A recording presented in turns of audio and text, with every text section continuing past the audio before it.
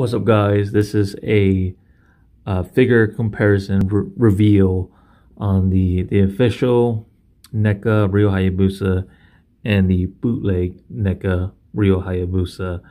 Um, there are some similarities between the two, but you can spot out the difference easily. Now, even though I said this is the official one, I'm actually not 100% clear but judging off the the paint apps, the the packaging, as well as the articulation and the accessories, this is pretty much as legitimate as you could possibly get in the year 2021. So before I talk about the figure, I'm gonna talk about the packaging. So a while back, we got um, two, or I'll say one package in this case, you got the clamshell packaging, which is right here. Excuse me. And then we got the, the card packaging right here.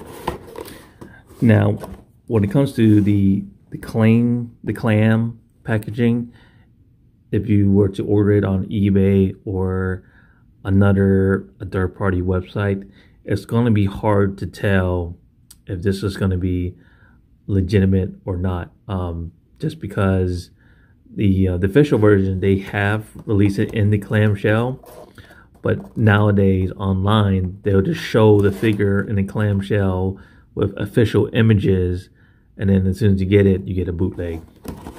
So to be safe, you want to look for a card back or yeah, paper back um, packaging because they have not released a bootleg, um, as far as I know, in a cardback packaging.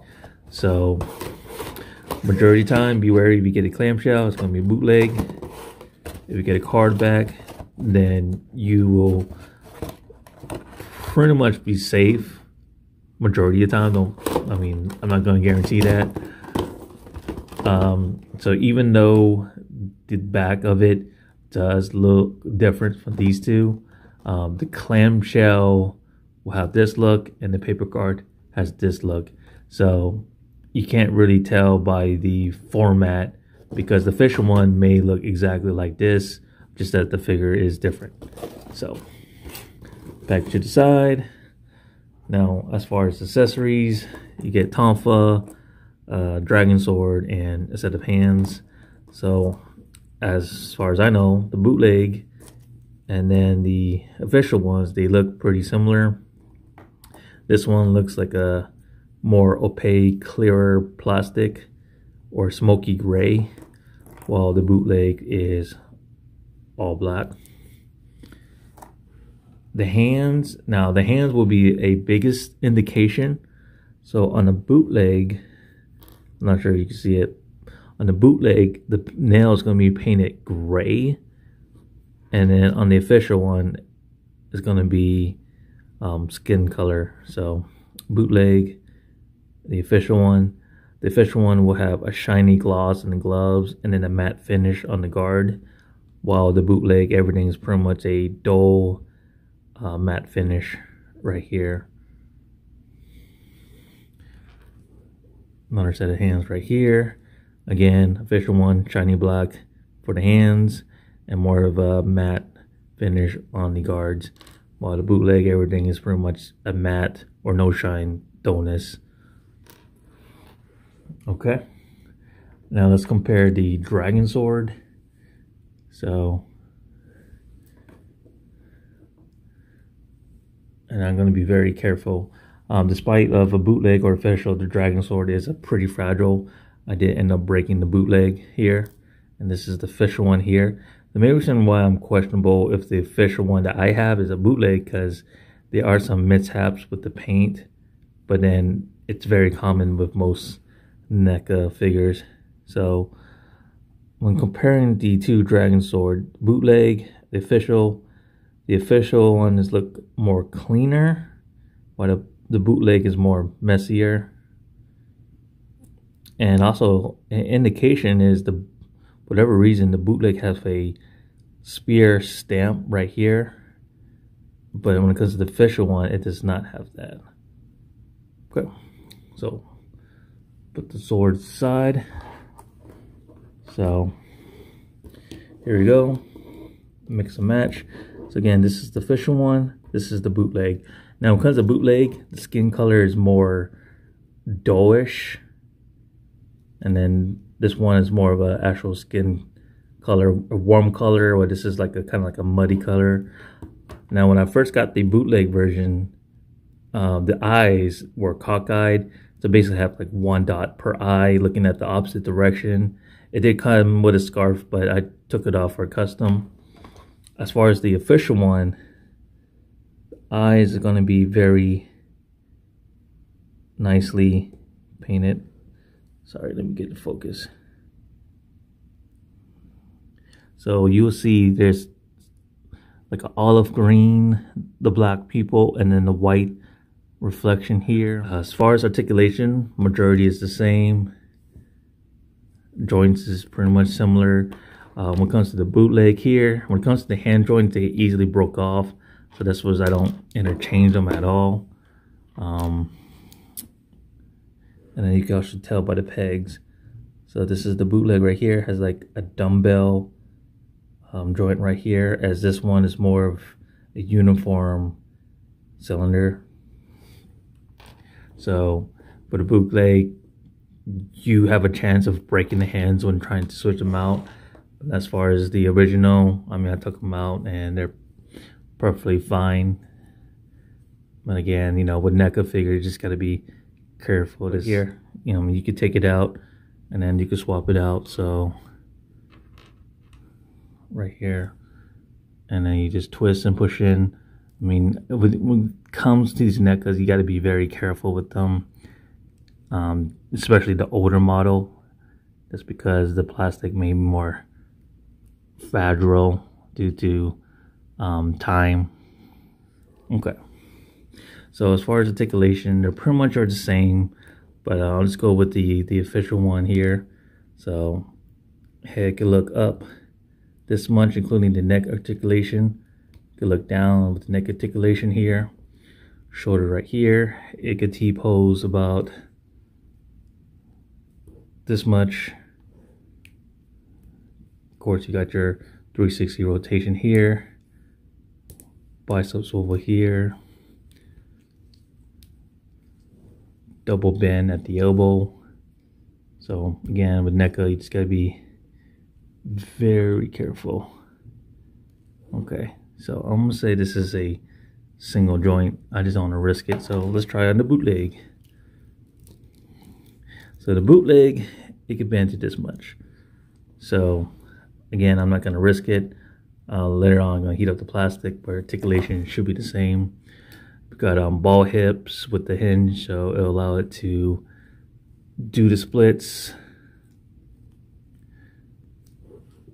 this much. And then you just have to rotate the the ball joint.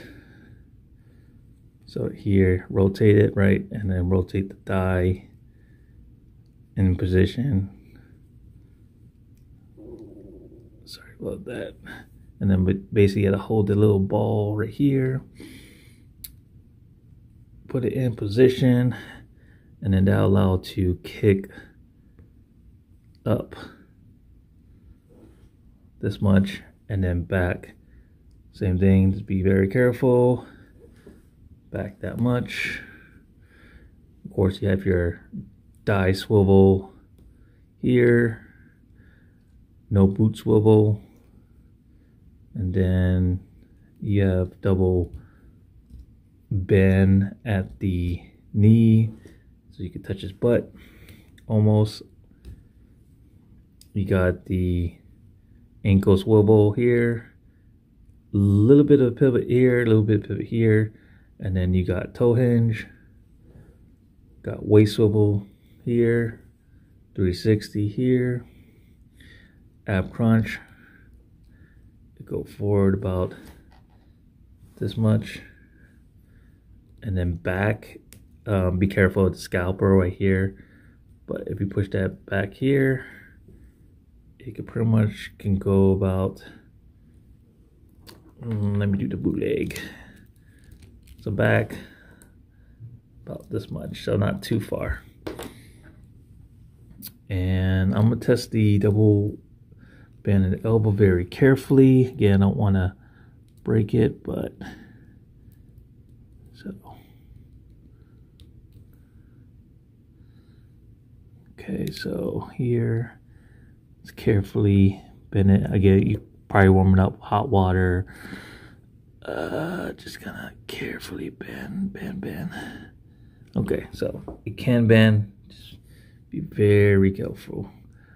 I mean, you don't want to break this figure. I mean, not because of the pricing, which they're hard to find on a good price. I got this, I got this one for eBay, like 30 something dollars, and I bought the bootleg for 30 something dollars. So I'm not saying that you can't find a official one or close to official one for a good price. You just got to be very careful on um, into details. Um, again, the best indication to find a official figure is the skin color. Make sure the fingernails are not gray. Paint apps, the eyes. Now the eyes are very important. Look for like actual human looking eyes instead of the cock out eyes. Um, what else? The card back is most likely official one, but the clamshell is, uh, you have a chance of having a bootleg. All right, so that being said, let's do a little size comparison. I'm, stands right about a little bit above seven, or if not seven size comparison here with the bootleg. I mean, same, pretty much the same height. So there's that. Here's a um, McFarlane MK11 Sub-Zero. So these guys stands about the same height. So you could definitely put them in the same universe. And then here's a um, Ryu Hayabusa custom that I made based on the articulated Icon Ninja. Um, of course, this won't scale well. This one is more fitting for SH figure art or a Marvel Legend line. This this guy's about um, 5.5 inches, while this guy's about seven. So, and this is why this is where I get the scarf from the bootleg. So that's about it. Um, again, this is the official one compared to the the bootleg. I mean, we can't find a, you know, official one. A bootleg is fine. I mean, just customize the eyes. I just white it out. This is because it's easier. But for the most part, articulation is good. You could probably find this figure for about, you know, 20 or $30 max. But, I mean, it's, it's a good figure. I mean, you can move around them pretty good. Here, here, here. Double bend here elbow here, here. Uh, just that hands are questionable when it comes to switching out. The sword is questionable. It could break easily, but for the most part, for a bootleg, I mean, it's just not bad. So, thank you guys for watching. Stay tuned. Like, share, subscribe, and have a good day.